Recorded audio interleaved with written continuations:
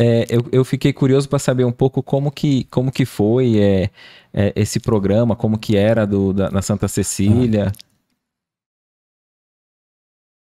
Bom, esse programa tem uma história, né? Porque eu, eu sempre fiz rádio. Certo. Eu comecei rádio em 20 de novembro de 1983.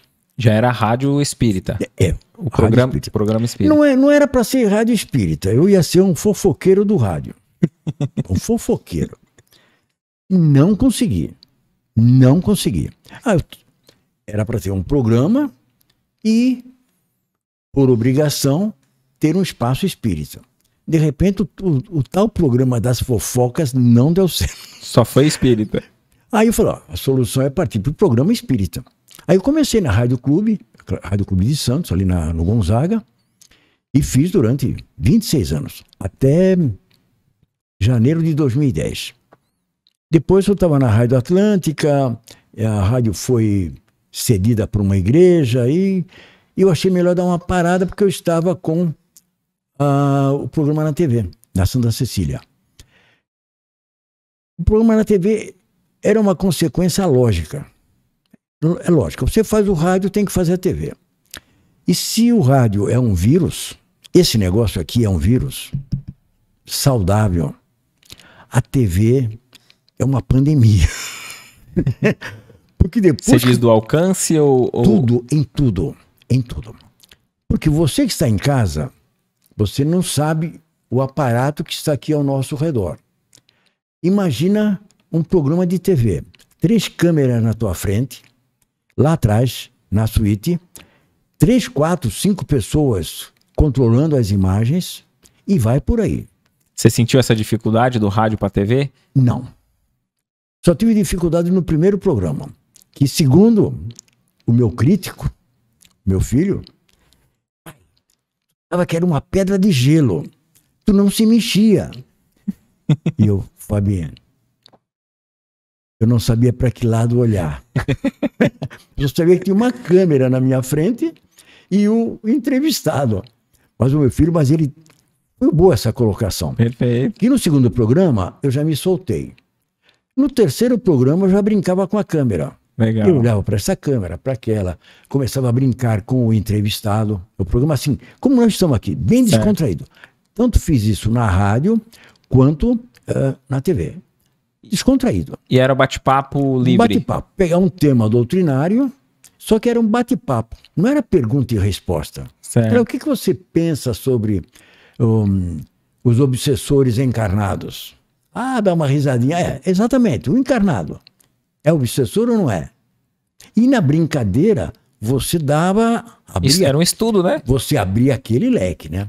E fizemos assim. Então, fiz isso durante cinco anos. Cinco anos.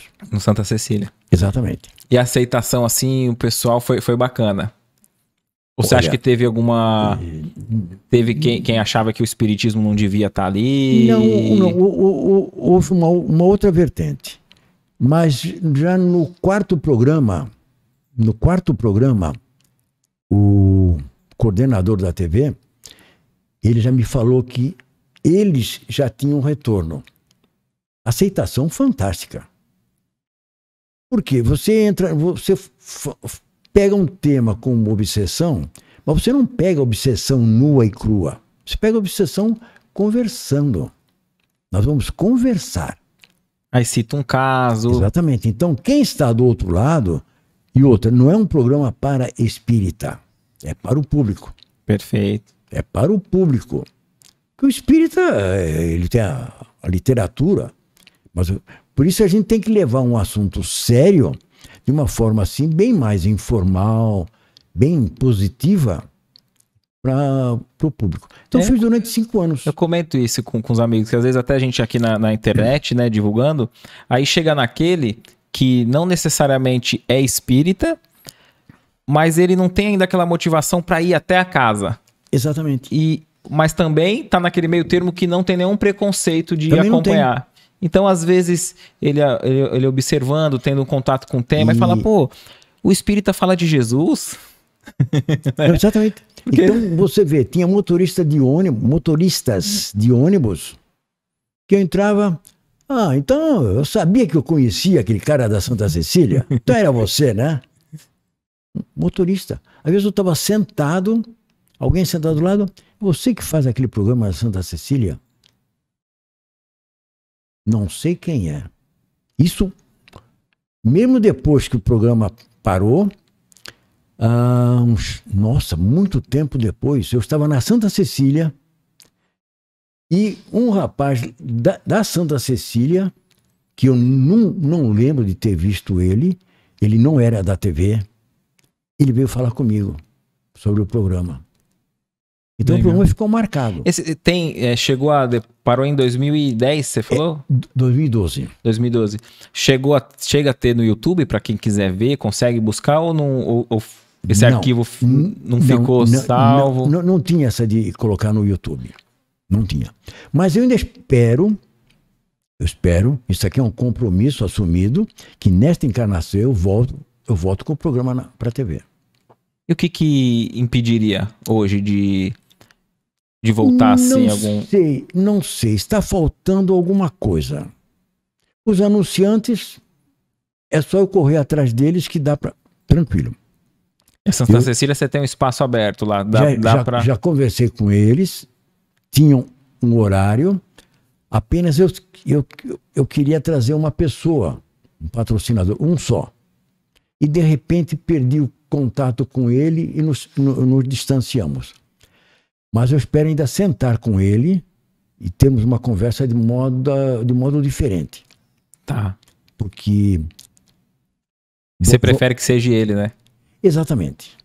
Porque também, se você abrir comercialmente, é, se, se, torna confuso. Você tem que, todo mês você tem que correr atrás da pessoa, chega lá ele não está, aí ele dá um cheque pré-datado.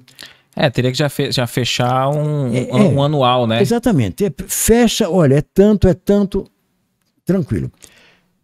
Eu, eu, eu acredito que está faltando um, sabe, um empurrãozinho. Não sei qual é, mas. Mas vai dar certo. Eu pretendo colocar, colocar o programa. Inclusive fazendo o programa, produzindo toda a programação de modo diferenciado. Não, não seria eu, no mesmo molde que era? Não, não, não. Eu cometi um erro primário. Cometi um, eu, eu, eu, reconheço, eu cometi um erro. Pode falar qual é o é segredo? Posso. Eu abri o programa para os espíritas. Entendi. Você falava direto, você falava para os espíritas. É. E tinha a participação de espíritas e, e pessoas ligadas à produção do programa espíritas. Hoje não, hoje eu tenho uma produtora, uma produtora que eu já falei para ele, você vai se responsabilizar pelo programa. Ninguém vem falar comigo porque eu não tenho nada a ver. Eu sou apenas o supervisor do programa. E apresento. Qualquer coisa que houver, meu amigo, problema teu. Ah, a equipe sendo espírita tinha, acabava prejudicando. Ah, não, eu não podia, eu não, não podia colocar você é, duas vezes em 40 dias. O pessoal caía em cima de mim. E se fosse um nome que você gostasse de chamar e alguém. Não, não exatamente. Só, só, que tem certos assuntos, certos assuntos que é você que fala. Você domina aquele assunto. Então eu, eu, eu, eu abri muito o programa. E hoje. Você faria diferente. Eu falei, não, hoje é a produtora. Tá certo que um, uma pessoa da produtora é espírita mas ninguém vai saber. que eu falar. E quando chegarem para você, apertarem você sobre por que convidou aquela pessoa, você vai dizer que foi a equipe de produção. Até eu já vou dizendo o que vai acontecer. Aí, ah, como é que eu falo para falar com a equipe de produção? Olha, eles se reúnem a cada 15 dias. Qual dia, qual horário? Eu não sei. Como eu posso falar com eles? Não sei.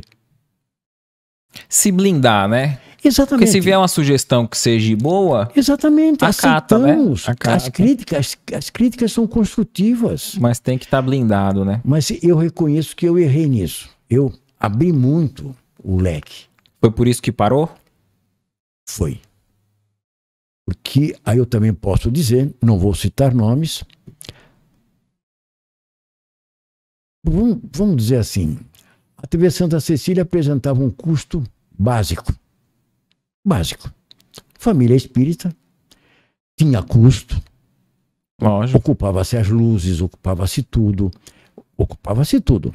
Tinha um custo, mas um custo que dava para segurar. Mas eu fazia rádio também. Aí, ô Zé, está numa boa, fazendo rádio, televisão. Eu não recebo nada do rádio. Pagava rádio. Não. Tinha o custo da TV. Não recebia nada. Mas quiseram entrar na sociedade. Ah, aí eu confesso que eu surtei. A pessoa queria estar. O problema não era você estar ali, era que não era a pessoa que estava, era ela que queria estar no teu lugar. Exatamente. E dividir as cotas de anúncio, de anúncio. Pelo amor de Deus. Eu surtei. Eu surtei. Então, eu, por isso eu digo, eu cometi um erro. A gente não deve abrir muito, abrir muito o leque. É, é um grupo restrito, que nem agora, tem essa produtora, eu já, eu já estive conversando com ele, falou, olha, a qualquer momento eu vou correr, você me segura. Porque é a produtora que vai assumir o programa. Porque senão, as, a- porque é lógico que um, um programa que levava consolo, esclarecimento, luz para várias pessoas incomoda as trevas, né? Os É, inimigos do. Aí Então cara- é, acaba, acaba achando alguma, algum modo de. E começou, e mexeu, mexeu comigo de um modo que. Mas mexeu. E eu, talvez inadvertidamente, aceitei. Entrou na onda. Mas, pô, dinheiro, peraí. O que, o que entrava é, cobria a, a gravação do programa, cobria, cobria o, espaço, o espaço na TV, e se sobrasse, ficava no fundo da gaveta. Mês que vem pode haver alguma emergência. Lógico, um fundo Mas de... a pessoa já fica. tem dinheiro rolando. E eu não. sou- Eu, nesta encarnação, meu problema é dinheiro. eu acho o dinheiro é terrível. Ajuda, ajuda, logicamente, eh, nos favorece, nos dá muitas coisas, mas o dinheiro derruba muita gente. Olá, você acabou de assistir um corte do nosso episódio completo. Para ter acesso a esse vídeo na íntegra e entender o contexto geral do tema, acesse nosso canal Recomeçar Podcast Espírita. Também tem um link aqui em algum local desse vídeo. Se inscreva e ative a notificação.